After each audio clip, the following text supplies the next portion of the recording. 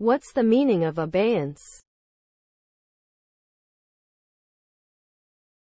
Abeyance. Abeyance. Abeyance. Abeyance. Abeyance. The word abeyance means a state of temporary inactivity or suspension.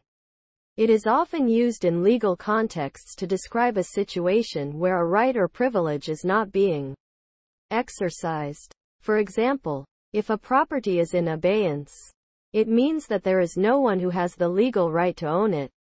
The property is essentially in limbo until someone can prove that they are the rightful owner.